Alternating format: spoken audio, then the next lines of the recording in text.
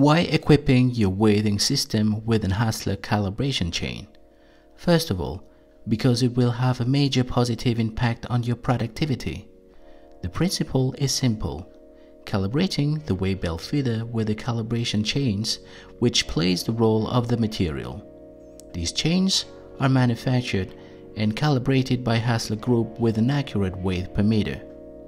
Then, because Hasler calibration chain is easy to use, the chains are placed on the belt and hang on a fixed point. The goal is to rotate the belt feeder with the chains which will only be in contact with the band. The weigh belt feeder must rotate at a fixed speed and fixed weight giving fixed flow. Quantity of material over a known time is then known and compared with the totted up value given by the electronic controller. Calibrating the equipment is then simply and quickly done. And finally, because calibration operation takes only minutes, you save time. No material, no truck or truck weighting unit is needed.